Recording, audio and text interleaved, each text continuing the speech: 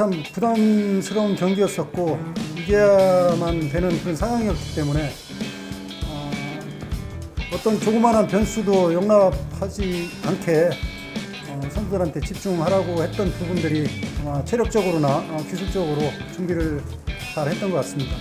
어, 3주 기간 동안 준비했던 것들이 오늘 좀 많이 나왔던 것 같고요.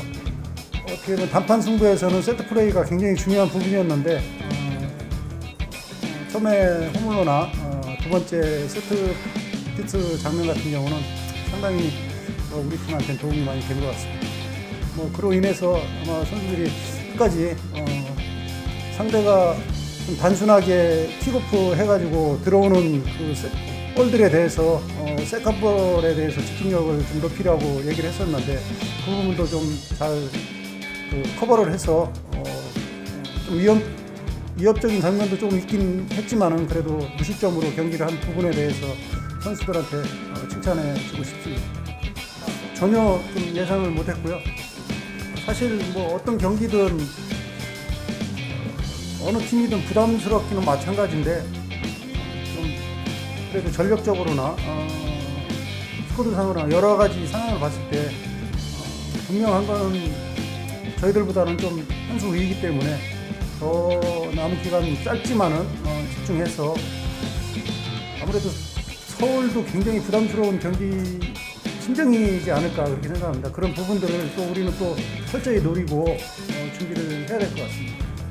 아마 서울도 그 단기전이기 때문에 아마 그런 집중도는 저희 팀이 좀 훨씬 낫지 않을까. 아, 지금 현재 상황을 봐서 저희는 지금 이기고 올라가는 상황이고 어, 서울은 또 지고 또 경기를 대비해야 되고 어떻게 보면은 FC 서울이라는 큰 팀과 어, 경기를 한다는 자체만으로도 어, 우리는 더욱더 집중해서 준비할 수 있는 그런 계기가 될 수 있을 것 같아요. 네, 저뿐만 아니라 선수들이 아마 더 어, 잘할 수 있, 잘하고 준비를 잘 할 수 있는 그런 상황으로 이어질 것 같습니다. 현재 사실 저희 수비 라인이 아까도 말씀드렸는데 좀 붕괴가 돼서 조직적으로 오늘도 아마 그, 그 부분을 고종수 감독이 많이 그 집중적으로 노린 것 같아요. 단순하게 그 센터백 쪽에 키큰 민혁이를 통해서 그 헤딩 경합을 시켜서 어, 하는 그런 전술을 좀 하려, 어, 사용을 했는데 또뭐잘 마무리가 된 것 같고요. 그런 부분만 조금 조직적으로 어, 그래도 여수여수에 들어오는 선수들이 제 기량을 좀 발휘해주고 있어서 좀 큰 문제는 안 될 것 같고요. 어, 남은 기간 동안 그 이제는 뭐 저희도 부담감이지만 서울도 부담감이 크기 때문에 어, 재차 강조하지만은 그런 부담감 없이 저희들이 좀 좀 더 편한 상태에서 경기를 할 수 있도록 선수들한테 어, 주문을 하려고 계획을 하고 있습니다.